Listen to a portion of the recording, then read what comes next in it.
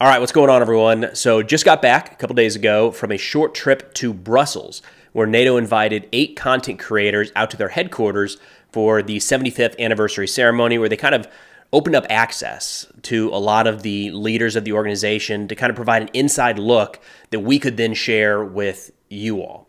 So I solicited questions before going over, have the answers or my answers to eight of those in this video, uh, and I'll link those as chapters in the description below if you want to bounce around. But first, there's a little admin, kind of housekeeping context that I think is going to be really important before getting into this video. So first off, of course, it's an absolute honor to be invited.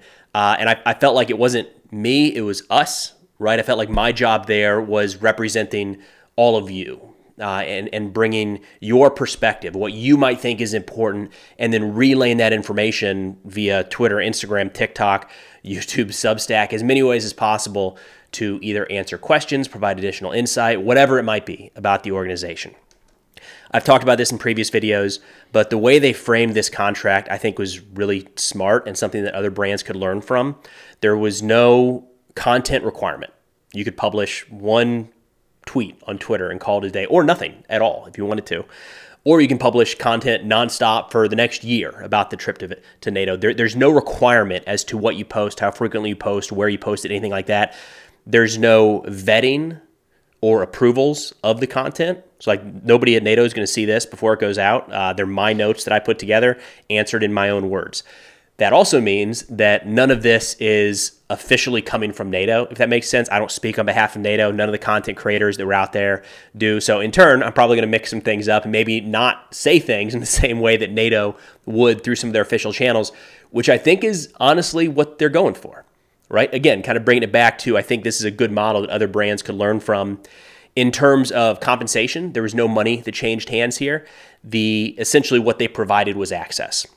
So NATO covered our travel to and from Brussels, as well as our lodging while there. We got some little trinkets like hats and notepads and things like that. And they covered most meals. Uh, breakfast was in the hotel. Lunch we had together each day that I was there.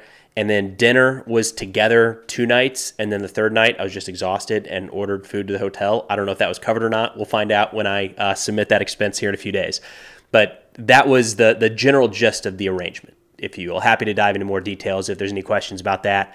Um, when looking at the questions that I asked, what we didn't ask, and kind of how I approached this, these are professional diplomats, the people that we got to meet with at NATO headquarters we're not there was nothing I was going to be able to ask and get like some groundbreaking answer, right? They're in front of cameras, in front of press all day, every day.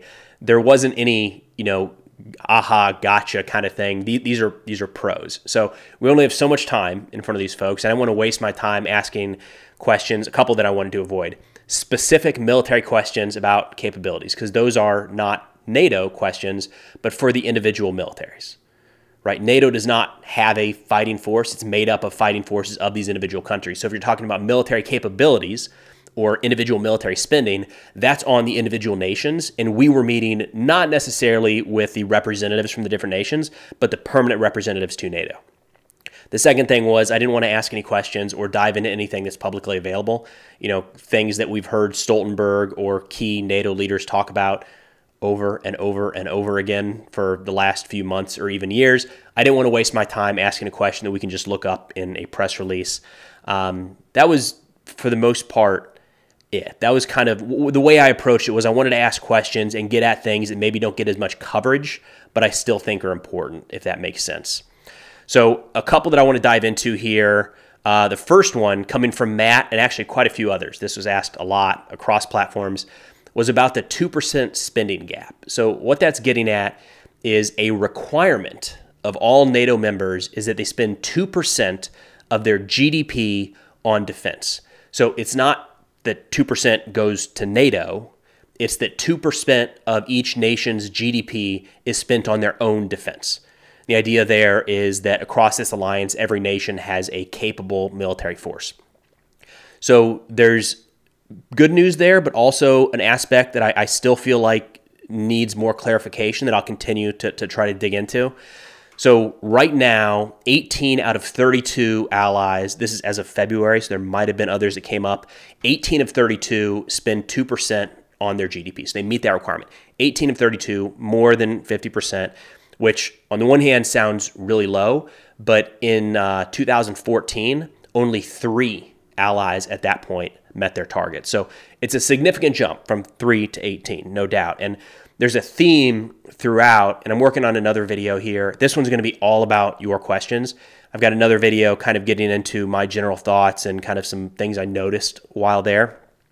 But a theme throughout this entire event was that the the best recruiter, the best marketing for NATO in a long time has been Putin's invasion of Ukraine, and it's not even close. Uh, it is the most unifying event for NATO in a long, long time. It has increased defense spending across NATO members by a significant amount. And if we look at you know what happened in 2014, Putin first went into eastern Ukraine and Crimea, and in that time period, we've gone from four to or uh, from three to 18 allied members meeting their 2% G, uh, defense spending threshold.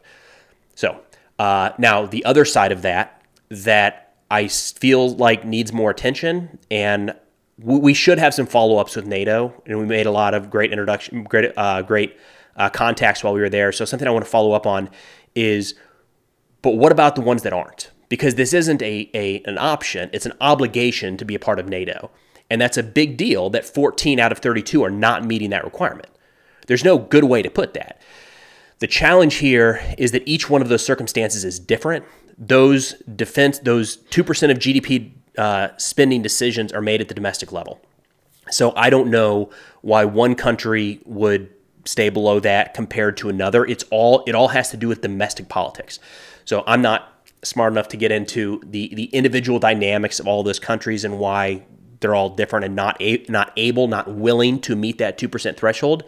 My question that, that I'd like to dive into further is what mechanisms does NATO have to kind of force that and say like you got to get here? How can they how can they push those countries to get to that 2%? Because it's not, you know, again, it's a big jump in the last 10 years, but it was a big jump to 50%. And I feel like we probably should have been past that. So more to come. I'm very interested in that. More to come on, on the 2% aspect. Uh, we should have, I think we have two more events lined up with NATO here in the next few months, and that'll be that'll be top of mind because I think it's I think it's really important, and I think a lot of people are wondering about that.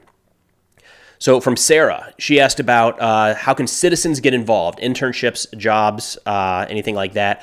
So there's a couple aspects here. First off, there was an organization there that is not a part of NATO, but they uh, they do some work with NATO in a sense, like some partnerships called Young Professionals in Foreign Policy. I'll link their website in the description below. Uh, I met with the one of their uh, leaders there at one of the events, and the whole purpose there. Now that that is aimed at recent college graduates up into people in their mid to late 30s, depending on the country you're in, but just trying to to get more citizens involved in the foreign policy world. On that note, uh, I do know that NATO, I now know that NATO has a pretty strong internship program. There were a lot of young people there, a lot of civilians across NATO, more than I would have expected. Is my first trip out to NATO headquarters. And when I think of NATO, all of my interactions while in the service with NATO uh, were with military personnel. And it's a military alliance, but there is a very significant diplomatic arm to this as well. And at the headquarters, especially, uh, I would say it was a lot more civilians than military, and a lot of those civilians were pretty young. So the we had multiple people talk to us about how they started at NATO in the internship program. I'm not entirely clear on the details of that. The interns that we interacted with were graduate students. So I'm not sure if they do anything with undergrad students, you know, between years or, or during uh, the academic year, anything like that. But I think a big takeaway that I, I hope people pick up on here is you don't have to have some extensive military background or honestly even a foreign policy background to work at NATO or for some of the missions involved with NATO. This is a in a sense it's a major corporation. And the major corporations is not just, in this case, foreign policy and military. They've got accountants. They have people in marketing. They have social media managers. We met some of those, right? Um, they have human resources. They have everything that any major company would need. NATO needs as well. So if there's any interest in working for an organization like NATO or others, just know those opportunities are out there. You don't have to, you know, come from the, the US State Department or the US military in order to get into an organization like that. And kind of in line with that, uh, another question came from a couple people was how is NATO working to pull in younger people to the organization and tap into their thinking? Which I so first off, I think this trip was part of it. Uh, they've done some things like this in the past, but it, it, seems like they're really pushing this initiative to try to tap into audiences that they're not reaching right now. And it's not even so much trying to send out a NATO message, but just make people aware. Like some of the creators on this trip have nothing to do with foreign policy, military, war and conflict at all. But they have large audiences and, and NATO is, you know, for any member state, NATO is an important thing, whether you like it or you don't like it or you're indifferent. So what they're trying to do is just to make more people aware of what this organization is. And I think it, personal opinion, I think that's a good thing, right? Knowledge is power, right? So the more people that can be made aware of what this organization does, and then they can make a decision as to whether or not we should be more involved or less. Uh, this is a big initiative right now by NATO. I already mentioned the young professionals in foreign policy uh, that I'll link in the description below. That's a way that they're trying to pull in kind of younger generations. I will say when you take out like the officials, you know the the the top people from each country or the top folks inside of NATO, the majority of their staff was young. Was my takeaway. So there's a lot of younger folks running around NATO headquarters that are already being pulled in to that realm uh, however, whenever you know camera shots or press briefings, anything like that, it tends to be the the ministers, secretary of state, things like that that are a little bit older. Uh, the last thing I wanted to bring up here is something that I asked of the NATO press secretary while we were there was about including digital creators into some of their press briefings. So we got to sit in one of the press briefings with that Stoltenberg gave, and he asked he answered four, five, six questions, something like that, from traditional mainstream news outlets which is how these organizations tend to run. Um, but I, a, few months ago, was fortunate enough to get invited by the UK Ministry of Defense to sit in some background briefings that they were giving reporters, and it was it's on the record, but it had to be attributed to like an unnamed defense official. I haven't. It's background, right? Just give some context as to how the UK Ministry of Defense is viewing. This was around the war in Ukraine, so I brought that up and said, "Can NATO do this?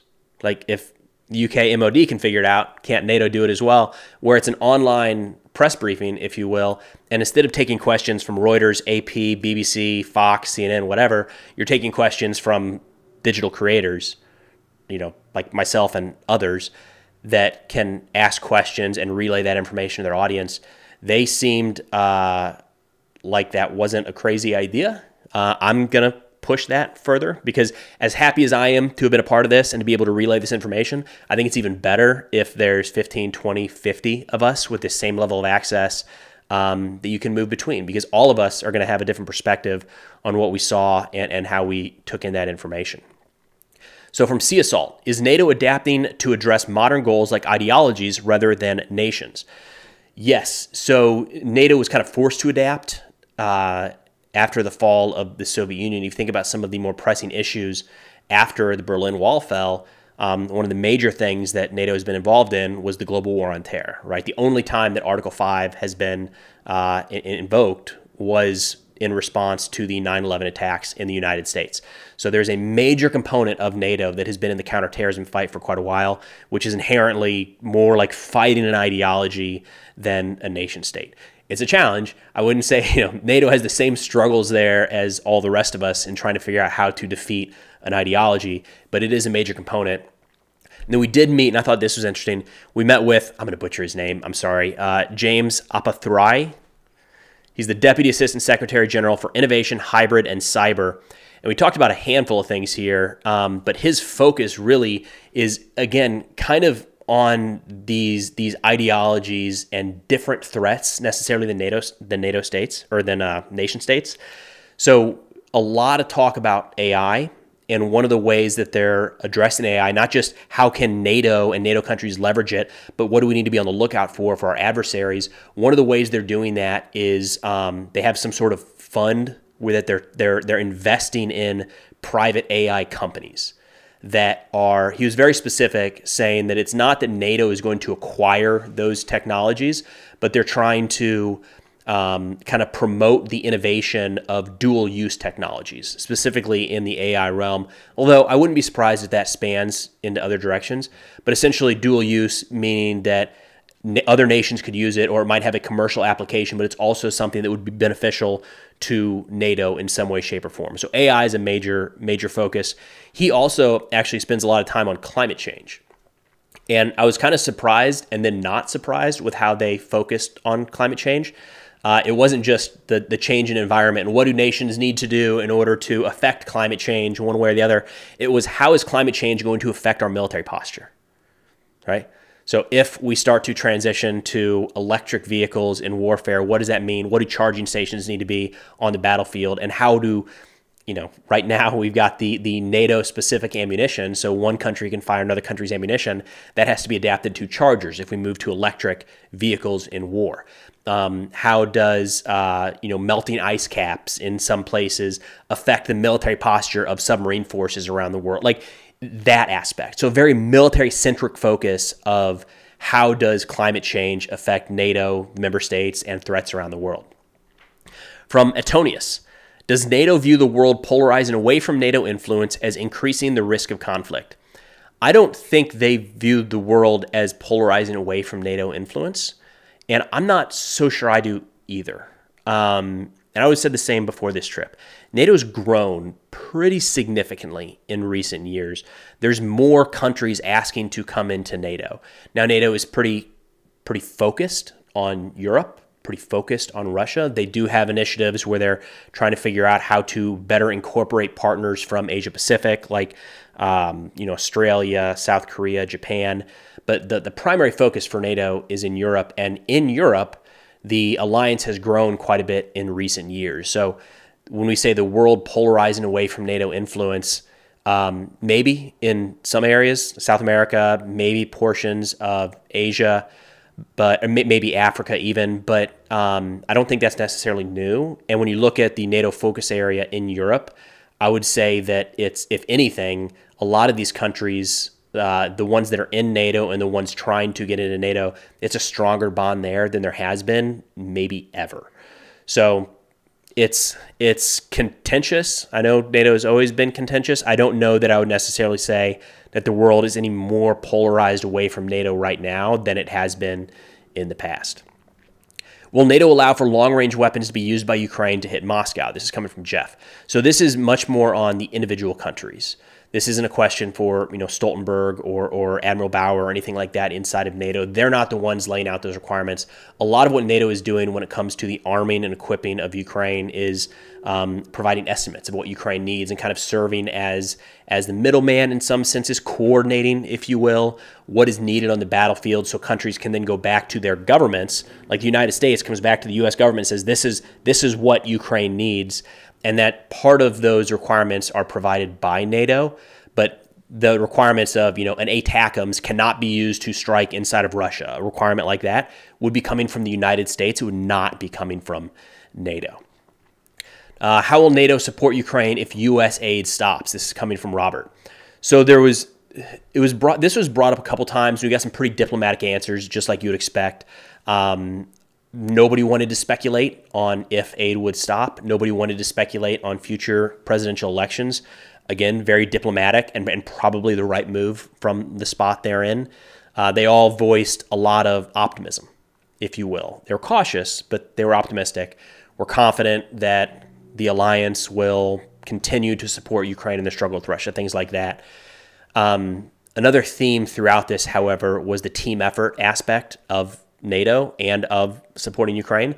So I don't think that's anything new. I think that's been a, talk, a, a focus of their kind of talking points for a long time. Is it's not you know the United States does provide a large chunk, a significant chunk, especially in the military aid to Ukraine, but there are a lot of other countries in NATO that have since the U.S. funding bill kind of stalled out a few months ago, have stepped up their support. So um, I think your personal opinion, if U.S. aid completely stops, I would expect to see a handful of European countries kind of increase what they're providing, especially in the military realm. Um, but it seems like right now, again, personal opinion, my perspective from this meeting or these meetings is that planning is, is most certainly going on behind closed doors, but in the public realm, it's still very much we're confident this will go through. We know what Ukraine needs. We're going to provide that and then continue to support Ukraine in their fight with Russia. So it's contentious, very much um, on brand talking points, if you will, at this point. Which, to go back to the very beginning of this video, like to be expected, right? We're not going to hear anything crazy, uh, you know, off the rail type response from professional diplomats that are getting this stuff all the time. And then the last one here uh, from Ubong. I'm sorry, I feel like I probably mispronounced that. If the U.S. leaves, will there be a NATO? Yes, 100%. Um, the collective security agreement is so important. We heard this from multiple ambassadors, ministers throughout the trip. It is a critical component of so many different countries' defense, right? Small countries in Europe that on their own there, there's not much hope they would have against a country like Russia if they chose to invade. But together, and this is a term we heard over and over and over again, stronger together. Together, it's a significant adversary that Russia would try to take on. There was a stat thrown out a couple times uh, that I feel like would be very hard to dial in if it's exactly correct, but it gives you the right idea. They said that NATO has 50% of the world's manufacturing and 50% of the world's military might. So together, there is no single nation out there that can defeat us essentially we cannot be defeated. Now, kind of that's you know a couple uh, taking a couple terms and kind of extrapolating that out to something as complex as war. But you kind of get the idea, right? If if an organization has 50% of the world's military might, it's going to be very hard for any one or even two nations to team up and, and bring them down. So if the United States were to leave, uh, all of those nations would, would still very much be uh, a part of it. And there's some very strong militaries involved there right? So the U.S. certainly plays a major role in NATO. Um, but if we were to decide that we weren't going to be a part of that anymore, um, the organization would, would very much still exist.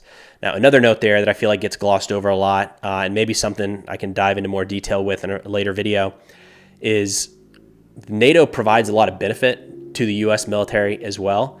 Uh, you know, the the U.S. military is significant in size, capabilities, spending, all that stuff. But one of the major ways that we're able to influence around the world and project power around the world is through our allies, right? Be it air bases in allied countries, bases in foreign countries where we can forward stage troops, um, uh, the ability to to refuel ships anywhere around the world, right? So a lot of the U.S. projection of military might is kind of done with the assistance of our allies. Even if it is U.S. forces through and through doing all of the military action, um, the ability to tie in with allies around the world is a significant aspect of that. In uh, in Europe specifically, and, and somewhat the Middle East, a major reason that we're able to project the power that we can is through NATO. Largely, it's the NATO allies that make up Europe. So, you know, if the United States were to leave NATO, I personally, I, I don't think that's on the table that's a really big step. Um, and I think for better or for worse, the establishment, if you will, the blob, I think I've heard it referred to, uh, the State Department and, and the Department of Defense, military, as well as the intelligence community, are very entrenched with NATO. This is a significant aspect of U.S. foreign policy. The idea that, you know, it's not overnight, we're not going to leave that organization. Um, and again, I think there's a lot of benefits provided to the United States via NATO, intelligence sharing, and the, the co location of troops all around the world to project U.S. military might wherever needed. But that'll do it for the NATO Q&A. Again, I'm working on another video right now, kind of my general thoughts, diving into some subjects that were not necessarily asked by you all, but I still feel like were relevant to bring up and that I think you'll probably find interesting. I'll get that in a separate video. I wanted to separate those two. Uh, but again, should be able to hopefully go out to another NATO event, the summit in Washington, D.C. this July. So if there's any follow on questions or additional aspects that come up that you want to know more about, please continue to, you know what, I'll do a, a specific ask again right before that trip. But look, hopefully this is a resource to you all. Um, again, it's, it, it's an honor to be included in this group. And I, I truly do feel like it's us being there, not just me. Um, I feel like I'm your your advocate, your your your person, your representative out there, trying to gather as much information about the organization um, and dig into some of the details that maybe aren't making traditional media. They're not making headlines. Um, so for that, thank you, thank you for being here. Your being here allows me to go do that and and try to relay the information as best as possible. But that's all I got for now. Thanks for watching, and I'll see y'all next time.